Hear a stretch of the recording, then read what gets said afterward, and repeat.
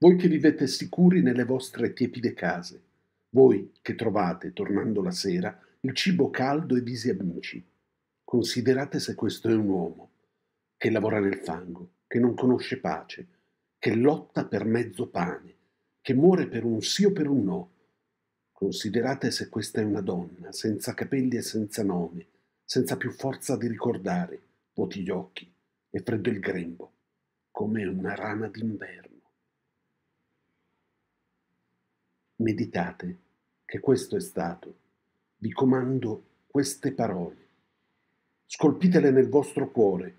stando in casa, andando per via, coricandovi, alzandovi, ripetetele ai vostri figli, o vi si sfaccia la casa,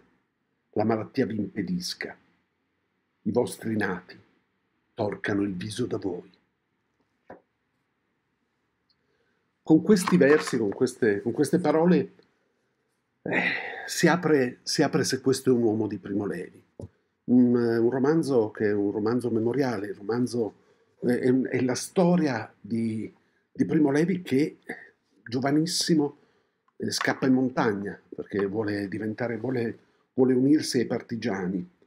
E, e, viene, in realtà finisce insieme ad altri ragazzi eh, isolato in una, in una cascina su in montagna, viene, viene catturato all'alba e mh, per il timore di essere passato per le armi come partigiano dice no, io sono scappato qui su solo perché sono ebreo, non sa che è molto peggio e viene caricato, viene portato prima a Fossoli, poi viene caricato su, sui treni che ora conosciamo, tristemente famosi, i treni della deportazione, e trasferito in un campo di sterminio ad Auschwitz, alla Boom. E il racconto di Primo Levi è un racconto, beh, intanto il racconto, c'è cioè proprio la storia editoriale di questo, questa è la prima edizione, la prima edizione della, delle Inaudi, e non la prima edizione del libro, perché nella storia editoriale di questo, di questo, di questo volume, di questo libro, c'è racchiusa proprio anche un po' il senso di questa memoria novecentesca piuttosto,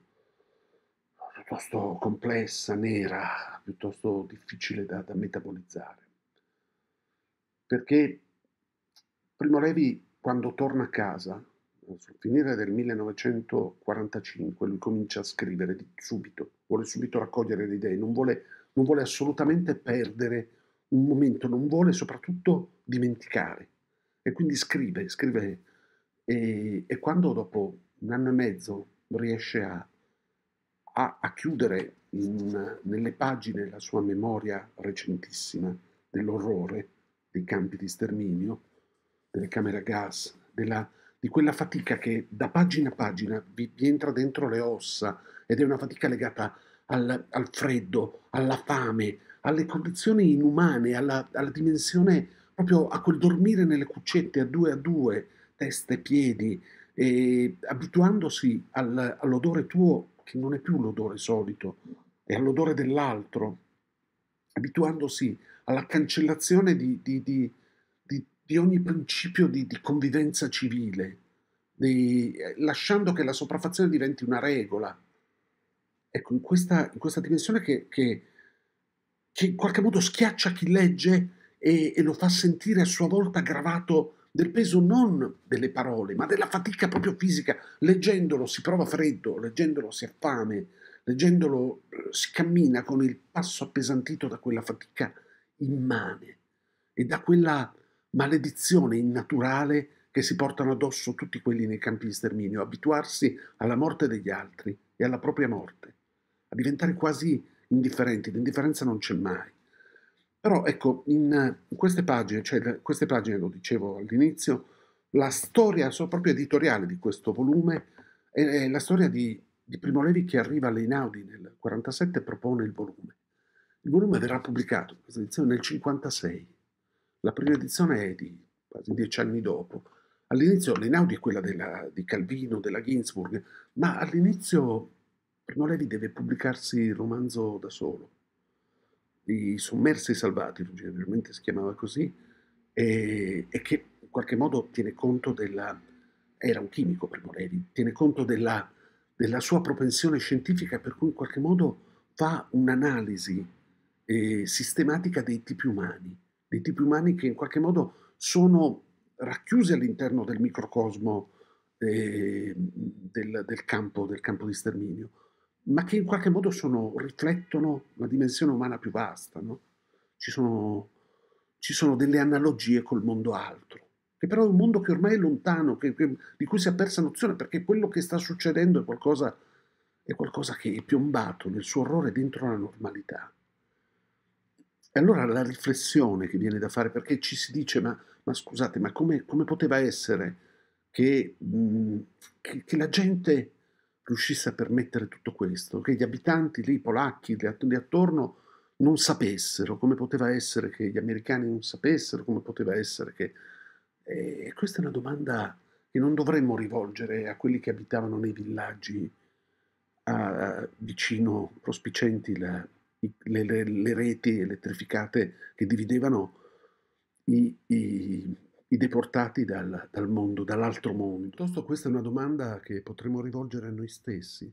potremmo, perché, ci dice, perché nella, nella, nella quotidianità, nella normalità, nelle, nelle, nostre vite, di colpo piomba quella roba lì. Cioè di colpo ci ritroviamo a fare i conti con un orrore che, che è sovrumano, che è qualcosa che non riusciamo ad annettere alla, a una possibilità che è dell'uomo, che è nostra quindi.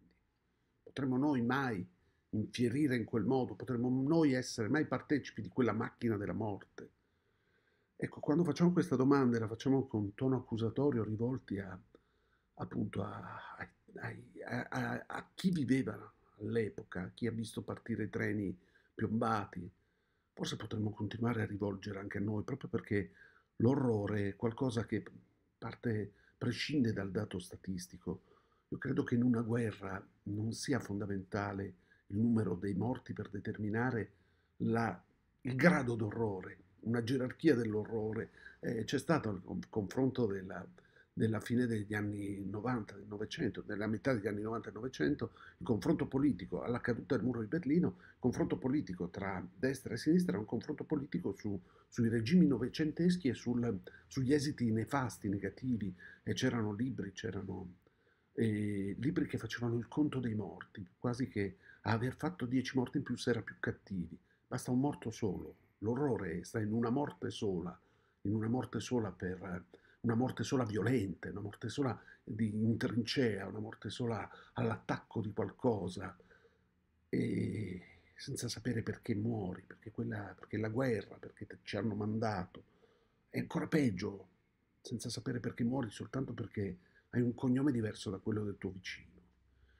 Beh, quella domanda avremmo potuto continuare a farcela con tutti i conflitti che, che ci sono stati poi in seguito, ma forse nell'orrore, orrore per orrore, possiamo continuare a farcela facendola incombere sul nostro presente. È una domanda che, che potremmo continuare a farci, ma che possiamo farci oggi, ancora di più, eh, vedendo le immagini di persone al confine con la Bosnia, un confine qualsiasi, sono migliaia di scenari che potremmo proporre e uomini a piedi nudi che si addormentano nella neve, bambini che muoiono a poche ore dalla nascita, al freddo. Succede ora, succede adesso. Mentre come il corvo di una poesia di, di Edgar Allan Poe avremmo dovuto continuare a ripeterci, partendo dalle pagine di Primo Levi. Mai più, mai più, never more.